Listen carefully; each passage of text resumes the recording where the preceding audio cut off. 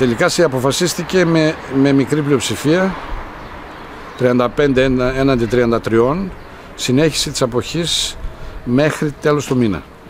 Και ποιες δίκες αυτή τη φορά εξαιρούνται; Εξαιρούνται, ε, θα πάμε με το ισχύον πλαίσιο, αλλά θα εξαιρεθούν τα ασφαλιστικά και οι εκλογές σωματείων.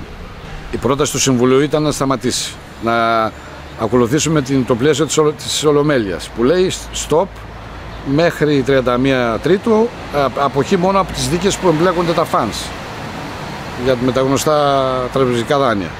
Αλλά δυστυχώς δεν πέρασε η πρόταση αυτή και ψηφίστηκε η δεύτερη που ήταν να συνεχίσουμε με, αυτά που, με το ε, πλαίσιο που σας είπα.